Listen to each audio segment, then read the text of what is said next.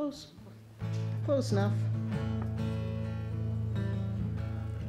You walked into my heart like you own the place. A line in your eyes, a smile on your face. Now you say you're sorry, but you're really not. I hope you go to hell and rot. So don't tell me to forgive and forget. Cause I'm not finished crying yet. No, don't tell me to forgive and forget. Cause I'm not finished crying yet. You lied, I cried. And I'm not finished crying yet.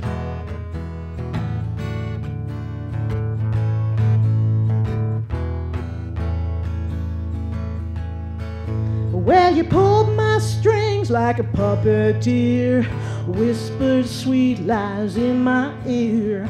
Now you say you're leaving and you say don't cry.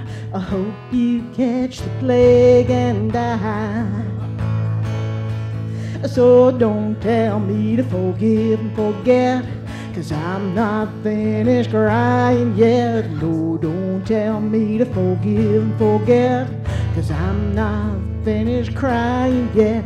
You lie, I cry.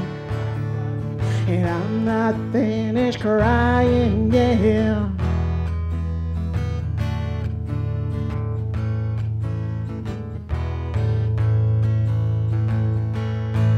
Well, I hear you found somebody new. I hear she's just as bad as you. I hope this time you really give your heart so she can tear it all apart. Well, maybe you should forgive and forget. Or aren't you finished crying yet? Well, maybe you should forgive and forget. Or aren't you finished crying yet? She lied, you cried. And you're not finished crying yet. She lied, you cry.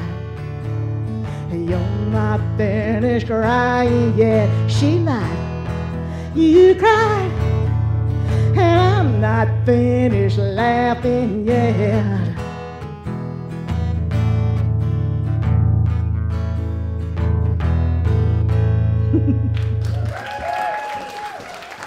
Thank you very much. I really want you guys to mark down September's Coffee House because we're going to be working in conjunction with a literary festival that's going to be going on in Dawson Creek. We're going to have some really great out of town poets come and sing. And of course, our, our wonderful local poets will be, will be coming out too. But there'll definitely be room for music.